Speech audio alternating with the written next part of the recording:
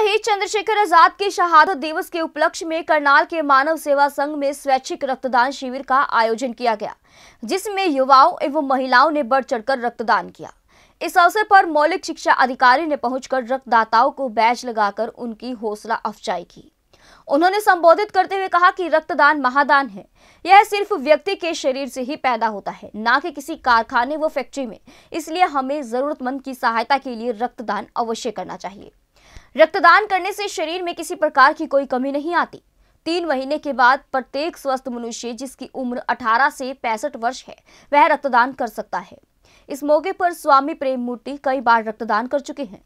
Police में कार्यरत अशोक कुमार के अलावा शहर के गणमान्य व्यक्ति मौजूद रहे। देखिए एक विशेष रिपोर्ट। हमारे आदरणीय अशोक वर्मा जी समय समय पर ब्लड डोनेशन का कैंप लगाते रहते हैं। और आज के दिन ऐसी स्थिति है कि किसी भी मरीज़ को कम से कम ब्लड की कमी में किसी प्रकार की दिक्कत नहीं आती है। कहीं भी किसी भी हॉस्पिटल में हमारे पास पर्याप्त खून रक्त की मात्रा रहती है और इनके बहुत ही हम आभारी हैं, धन्यवादी हैं कि ये महीने में कम से कम चार पाँच बार ब्लड डोनेशन का कैंप लगाते हैं और ये खुद भी डेढ़ सौ से भी ज़्यादा बार रक्तदान कर चुके हैं। तो बहुत ही हम शुभकामनाएँ देते हैं।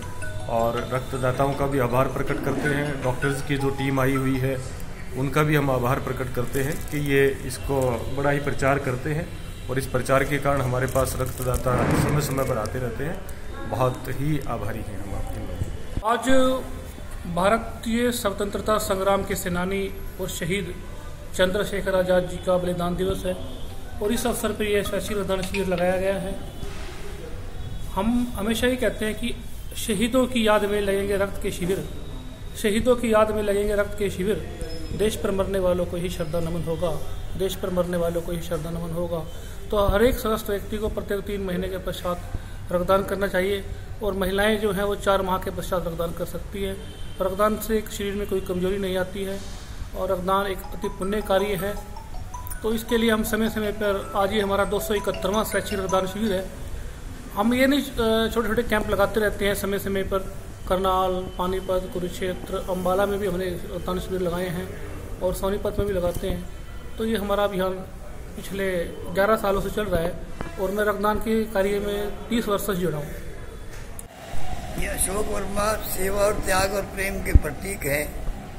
ये कैंप लगाते रहते हैं। मैं इनका बहुत ही धन्यवाद करता हूँ। वास्तव में तो प्राणी सेवा ही पर पूजा है। सबल व निर्बल की एकता ही समाज का सुंदर चित्र है। हम दूसरों काम आए, कुछ न चाहें, मैं विशेष रूप से अशोक वर्मा जी का इस बारे में धन्यवाद करता हूँ। है, और खासकर गरीब लोगों को पैसे की कमी की वजह से रक्त टाइम पे नहीं मिल पाता। तो अशोक वर्मा जी जो कैंप लगा के ब्लड एकत्र करते रहते हैं एक बड़ा पुण्य का काम कर रहे हैं और उनको उस टाइमली अवेलेबिलिटी हो जाती है ब्लड की। और एक प्रकार से सामाजिक सेवा है। लोगों में त्याग की और आपस में भाईचारे की भावना पैदा करता है। और खून देने से कोई खून, शरीर में खून की कमी नहीं आती, बल्कि खून का शुद्धिकरण हो जाता है। और ये हर युवा वर्ग को, खासकर जो युवा वर्ग है, उन्हें आगे आना चाहिए और ब्लड को दान करना चाहिए। और इस महीने ये दो कैंप लगाए हैं।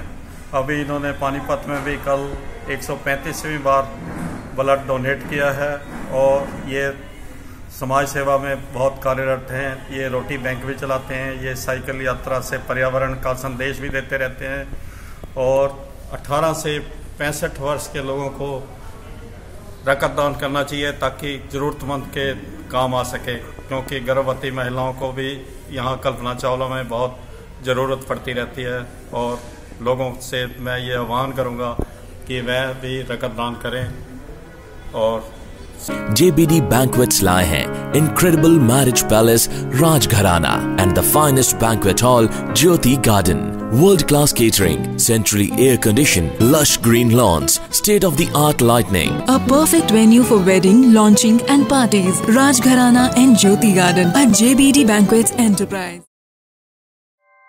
ऐसे ही लेटेस्ट खबरें पाने के लिए बेल आइकन को क्लिक कर हमारे चैनल को लाइक शेयर एंड सब्सक्राइब करें धन्यवाद